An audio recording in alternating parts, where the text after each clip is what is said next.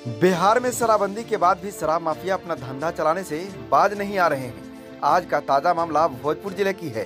Police ने एक बार फिर अवैध विदेशी शराब से लदे ट्रक को बरामद कर शराब माफियाओं में खलबली मचा दी है। दरअसल, भोजपुर उत्पाद विभाग को सूचना मिली थी कि हरियाणा से विदेशी शराब से लदा ट्रक शराब माफिया तस्करी के लिए भोजपुर के रास्ते कहीं लेकर जा रहे हैं। तुरंत उत्पाद विभाग की टीम ने कोइलवर थाना क्षेत्र के बबूरा में ट्रक की तलाशी ली तो उसमें चार सौ चौहत्तर कार्टून शराब बरामद हुआ। और ट्रक से ड्राइवर और खलासी को पुलिस ने गिरफ़्तार कर लिया। पुलिस के पूछताछ के क्रम में गिरफ़्तार व्यक्ति राजेंद्र कुमार व भंवरलाल कुमार ने बताया कि बबूरा में किसी व्यक्ति के घर शराब पहुंचाना था। व्यक्ति कौन है, पुलिस छानबीन में जुटी हुई है।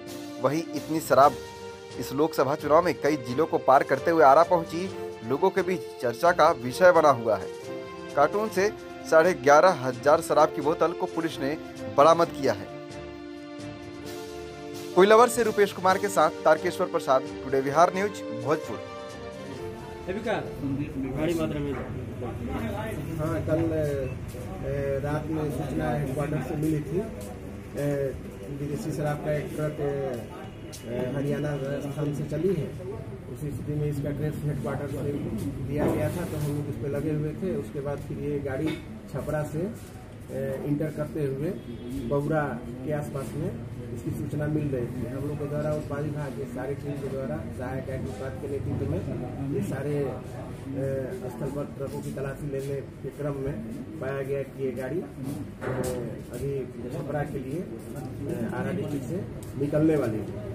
फिर इसको गाड़ी का नंबर हम लोग को सूचना प्राप्त हो चुका था। उसी स्थिति में इस गाड़ी को हम लोगों ने